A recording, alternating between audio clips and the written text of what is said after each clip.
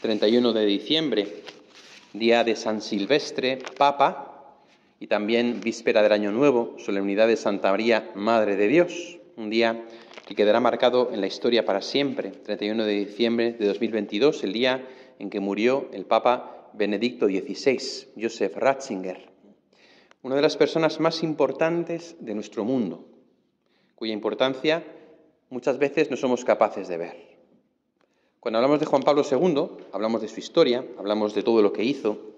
Cuando hablamos de Juan Pablo II y de la importancia que tuvo para la caída del muro de Berlín, la importancia que tuvo Juan Pablo II, el grande, San Juan Pablo II, como cabeza de la Iglesia, para ayudar en todos los conflictos que se dieron después de la Guerra Fría en el mundo entero, para la apertura relativa de países como Cuba, o para la doctrina de la Iglesia, la moral, la promulgación del catecismo de la Iglesia católica y de tantas otras realidades de la Iglesia. Tenía siempre a su derecha a alguien, Joseph Ratzinger, el cardenal y luego el prefecto para la Congregación para la Doctrina de la Fe, amigo personal de Juan Pablo II y también su mayor consejero, redactor junto con él de grandes proyectos y un verdadero orientador que ayudó a San Juan Pablo II a ser tan grande como fue. No podríamos haber tenido a San Juan Pablo II sin haber tenido a Joseph Ratzinger ahí como pastor. También teológicamente, que quizá es algo que a lo mejor a la gente que no ha estudiado teología le pueda llegar menos, pues como es lógico, ha sido también fundamental. Sabéis que después del Concilio Vaticano II, pues hubo un poco espantada en la Iglesia Católica. Hubo miles de sacerdotes que dejaron el sacerdocio, hubo también eh, pues mucha gente que intentó cambiar la doctrina de la Iglesia, se celebraba la misa cada uno como le daba la gana, pues uno cogía y en lugar del Evangelio leía el periódico y otro en lugar de consagrar con pan y vino consagraba con gambas y con champán, literalmente, ¿eh? esas cosas han pasado, o de repente uno pues cerraba la Iglesia y decía que lo que había que hacer era estar con los pobres, o ese tipo de cosas, ¿no? Cambiando la doctrina de la Iglesia, la dogma, el dogma, sobre todo la moral, ¿no? Incluso gente dentro de la Iglesia diciendo, pues que qué importa que Jesús sea Dios o que no sea Dios, o qué importa pecar o no pecar, o qué importa la confesión. Yo he oído cosas verdaderamente salvajes. Nunca olvidaré cuando estuve en Vallecas, en la primera asamblea que tuvimos en común las parroquias, al poco de llegar yo, que una de las personas que habló de una de las parroquias, que era una ex monja casada con un ex sacerdote, que contaba cómo un año en la vigilia pascual decidieron quemar el confesionario. Entonces hicieron la hoguera pascual con la madera del confesionario porque ya no hacía falta confesarse, ¿verdad? Y burradas de este tipo que hemos visto por desgracia durante los últimos 50, 60 años y que han sido pues un desastre para nuestra iglesia, para nuestras parroquias y para nuestros fieles, particularmente para nuestros jóvenes. Esa misma ex monja que promulgaba con orgullo que habían quemado los confesionarios el último día de la asamblea decía que echaban de menos a los jóvenes y que dónde estaban. Y yo pensaba, pues pregúntatelo tú, hija mía, si habéis quemado los confesionarios y al final no hay pecado, no hay tal, no hay nada de nada, pues ¿dónde están los jóvenes? Pues por ahí, pasándoselo bien, donde estaría yo también, si al final da igual lo que hagas en la vida, ¿no? En este ambiente relativista, en este ambiente un poco de despiste, Joseph Ratzinger ha sido fundamental para ayudarnos a comprender que es necesario que la Iglesia siga fiel a su pasado, a su historia, a su tradición, pero que también mire al presente al mundo en el que vivimos, no el mundo del siglo XVI, con una perspectiva de futuro. Y esto es lo que ha hecho que existamos las generaciones de sacerdotes que hemos perseverado en el sacerdocio, que no nos hemos apartado de la doctrina de la Iglesia y que intentamos hacer que la verdad del Evangelio sea pronunciada en nuestro mundo con un nuevo lenguaje, pero con el contenido de siempre. Y para esto ha sido fundamental este hombre, Ratzinger, capaz de dialogar con ateos, con agnósticos, con filósofos, con eh, gente de la teología de la liberación, con los padres de la Iglesia, con la antigüedad cristiana, con el presente, con el futuro, con todo lo que él ha hecho, con todo lo que él ha predicado, y ha permitido que la Iglesia, en un momento en el que corría el riesgo de hundirse y de perder su identidad, haya mantenido su esencia. Por eso, con pura lógica, cuando nuestro gran Papa San Juan Pablo II fallece, en ese Domingo de la Divina Misericordia, poco después es elegido Joseph Ratzinger como Papa Benedicto XVI. Es un momento en el que se le concede a la persona, a la segunda persona más influyente del siglo XX, se le concede el ser el Papa. Ser el Papa para que ya no sirva solamente como teólogo, sino también como pastor de la Iglesia. Y así todo lo que ha salido de la mano de Benedicto XVI durante el tiempo de su pontificado ha sido una auténtica maravilla y es una delicia, porque en ello vemos una espiritualidad encarnada, una fe que es vivida, una fe que se puede vivir de un modo especial. Los medios de comunicación nos lo pusieron como si hubiese sido poco menos que Satanás hecho papa, ¿no? Eh, ahí el Ratzinger que estuvo en las SS y que es malísimo y que es horroroso y sacaban fotos suyas con cara de maligno, ¿no? Como siempre medios de comunicación haciendo un flaco favor a quien había sido en el fondo quien había mantenido la fe incólume durante el pontificado de Juan Pablo II. Y Benedicto XVI ha sido el primer papa que ha hablado de un modo profundo de la ecología, que ha hablado de un modo profundo de la unidad de la Iglesia, es el que ha tenido más encuentros en el poco tiempo que estuvo de papa con grandes jefes de otras religiones y de otras confesiones cristianas,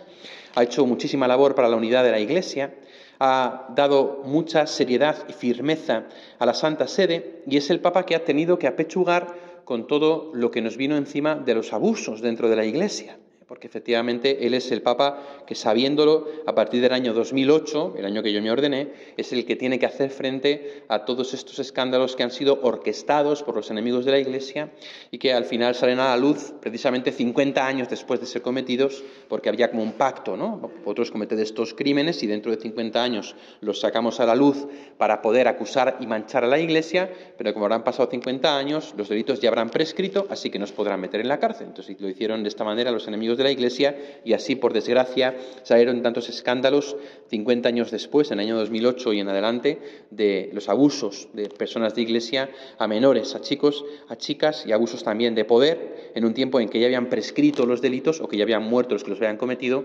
en, un claro, un claro eh, ataque coordinado a la imagen de la Iglesia en la persona del Papa Benedicto XVI, que sabiéndolo precisamente proclama ese año 2008 como año sacerdotal ese año lo proclama como año sacerdotal, sabiendo que iba a ser la gran mancha que iba a cernirse sobre la Iglesia del siglo XXI. Y podemos decir verdaderamente que el pontificado del Papa Benedicto XVI ha estado marcado por esta gran herida, esta gran, este gran dolor en la Iglesia que nos ha afectado a todos. Porque siendo cierto que ha sido una minoría minoritarísima la que ha caído en este terrible pecado y delito, es algo que a todos nos ha escocido, que a todos nos ha dolido y además que ha sido cogida por los medios de desinformación masiva para manchar el rostro de la Iglesia, para manchar el rostro de los sacerdotes, para manchar la reputación de la Iglesia y para pues verter una nube de ceniza, polvo y sombra sobre nosotros. Y esto lo ha tenido que tragar de un modo muy especial Benedicto XVI, que fue conociendo poco a poco, con gran dolor, todos los escándalos que había ido habiendo, todos los encubrimientos que se habían dado, todas las tácticas que había habido, por desgracia, de los enemigos de la Iglesia, y que así le fue consumiendo verdaderamente poco a poco, si bien fue él precisamente el que reformó la doctrina penal de la Iglesia para que este tipo de pecados pudieran ser juzgados de un modo directo e inmediato, cosa que muy poca gente sabe. Lo último que hace Benedicto XVI antes de ser Papa es reformar el Código Penal de la Iglesia para que este tipo de crímenes puedan ser penados como corresponde, no solo por lo civil, sino también por lo eclesial. En ese sentido, el Papa Benedicto XVI ha sido como un baluarte de la Iglesia en un momento en el que también se han ido manifestando enemigos en el interior de la misma. Dentro mismo de la Iglesia hemos encontrado obispos, cardenales que han negado la doctrina de la Iglesia, que han negado la verdad de la fe, que han atacado la unidad de la Iglesia. Y esto fue mermando poco a poco el corazón y la mente de nuestro gran Papa Benedicto XVI, que al llegar un momento, tras un periodo largo, casi de un año de reflexión, se da cuenta de que él lo más grande que puede hacer por la Iglesia es rezar. Y por eso decide no renunciar al papado, porque el Papa Benedicto XVI nunca renunció al papado, siempre fue Papa, siempre fue el Papa Benedicto XVI. Decide renunciar a ejercer el ministerio petrino, el ministerio de San Pedro, para retirarse a una vida de oración, de contemplación y de penitencia para pedir por la Iglesia. Y así se convierte en el Papa emérito Benedicto XVI. Sigue siendo Papa, sigue siendo Papa de la Iglesia, pero ya no como un gestor de la comunidad eclesial, sino como alguien que ora y que nos enseña que la oración tiene un poder impresionante a los ojos de Dios. Y por eso se retira a rezar por la Iglesia, porque él toma conciencia de que eso es lo más grande que él puede hacer por la Iglesia. Y así, durante estos años en que ha sido Papa emérito, podemos decir que verdaderamente ha sostenido a la Iglesia con su oración, de un modo misterioso que no podemos saber, en un tiempo de convulsión, en un tiempo de divisiones, en un tiempo en que la Iglesia de Alemania, de la que él pues, venía, ha, ha sido como una rasgadura en la túnica de Cristo, en un momento de mucha crisis, de muchos problemas, de muchas divisiones internas, Benedicto estaba ahí como una voz de fondo, rezando por la unidad de la Iglesia, recordándonos lo que ha sido el siglo XX, el siglo XXI, teológica y eclesialmente hablando. Por eso yo pensaba hoy que la muerte de Benedicto XVI es verdaderamente un cambio de época, un cambio de época, ya que de algún modo dejamos atrás todos aquellos grandes teólogos y papas santos que hemos tenido en este tiempo y pasamos a una nueva época en la cual la Iglesia vive una gran incertidumbre, pero con grandes lumbreras en el cielo. San Juan XXIII, San Pablo VI, San Juan Pablo II, el Beato Juan Pablo I y Benedicto XVI, que ahora de algún modo estoy seguro que estando ya con el Señor va a rogar de un modo especial por nosotros. Imaginémonos cómo ha sido el reencuentro de Juan Pablo II y de Benedicto XVI hoy, cuando Benedicto, según lo que yo pienso, ha entrado ya en el cielo y se ha encontrado, por supuesto, con el Señor, pero también con su gran predecesor Juan Pablo II y con tantos santos del cielo. Ahora Benedicto XVI estará en el cielo rezando e intercediendo por nosotros. Recuerdo una frase que dijo el Padre Pío poco antes de morir. Dijo, el Padre Pío hará más, más ruido muerto que vivo.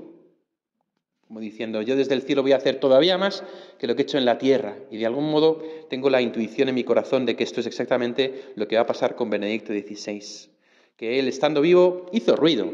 Al final de su vida estuvo callado, pero ahora desde el cielo seguro que va a hacer mucho más ruido para bien, para el bien de la Iglesia. Demos gracias a Dios por este gran hombre, por este gran santo, bueno, santo, perdón, no me quiero adelantar al juicio de la Iglesia. Demos gracias a Dios por este gran Papa, por este hombre de Dios, y pidamos que esté ya en el cielo, pidamos que si está allí interceda por nosotros, pidamos a todos los grandes pontífices de estos siglos que rueguen por nosotros y que en este cambio de época la Iglesia sea regida por quien es su verdadero pastor, Cristo. Benedicto XVI, el día que renunció, dijo, cedo el timón de la Iglesia a quien es su verdadero y único pastor, Jesucristo. Que así los santos papas desde el cielo rueguen por nosotros para que sea Cristo quien rija y quien dirija a la Iglesia. Adonai Abitah.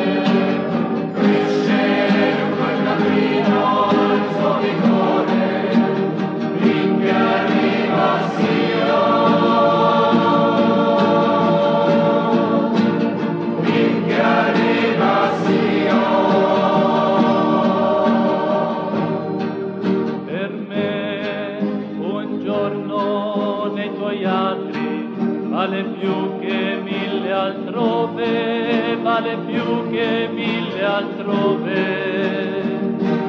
perché stare sulla soglia della tua casa è meglio che abitare